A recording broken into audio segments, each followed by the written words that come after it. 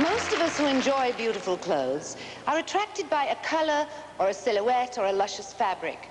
And we don't spend a lot of time wondering what influenced the designer who created the outfit that we covet. But influences there certainly are. And through the years, arguably, one of the biggest has come from music and the entertainment industry, even when it perhaps didn't realize it was having an effect. But now, here we are in the 80s, and the spectrum of our available entertainment is so wide and so varied that one might wonder what the influence will be this time. Wonder no more. Let the glittering diamond fashion show begin.